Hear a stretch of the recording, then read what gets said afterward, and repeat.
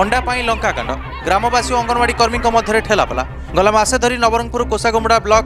ଝାଡ଼ସମେଳାର ଦୁଇ ନମ୍ବର ଅଙ୍ଗନବାଡ଼ି କେନ୍ଦ୍ରରେ ଗର୍ଭବତୀ ମହିଳା ଓ ଶିଶୁଙ୍କୁ ଅଣ୍ଡା ଦିଆଯାଉନଥିଲା ତେବେ ହଠାତ୍ ଆଜି ଅଣ୍ଡା ବଣ୍ଟନ କରାଯାଉଥିବା ବେଳେ ଗ୍ରାମବାସୀ ଅଙ୍ଗନବାଡ଼ି କର୍ମୀଙ୍କୁ ହିସାବ ମାଗିଥିଲେ ଏକ ନମ୍ବର ସେଣ୍ଟରରେ ସବୁକିଛି ଦିଆଯାଉଥିବା ବେଳେ ଦୁଇ ନମ୍ବରରେ କାହିଁକି ସରକାରୀ ସୁବିଧା ମିଳୁନାହିଁ ତାର ଜବାବ ମାଗିଥିଲେ ଗ୍ରାମବାସୀ ଯାହାକୁ ନେଇ ଆରମ୍ଭ ହୋଇଥିଲା ମହାଭାରତ କାଇ ପଇସା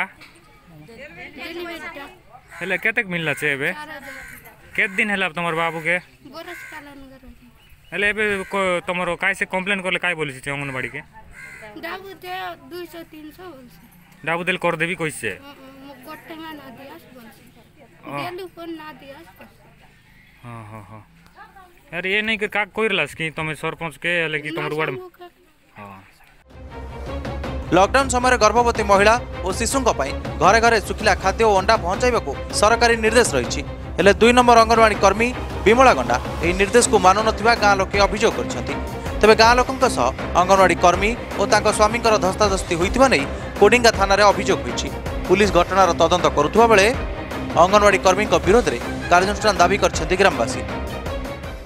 তুমি অন্ডা পাইলাস দশটা পাইলু দুই মাস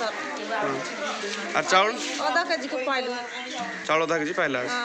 অঙ্গনবাড়ি গারি কাই বলছে না দিলা না কেন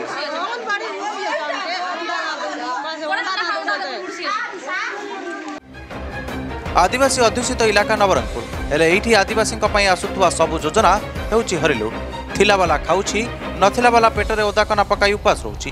আশা করিব মো সরকার থরে এ দিগরে বিধান দেবে আদিবাসী হক হকু লুটুথা অধিকারী উপরে বাজু মো সরকার ছাট নবরঙ্গপুর কোষাগুমুড়ু বিশ্বনাথ বিশোয়ী আফতাব নিউজ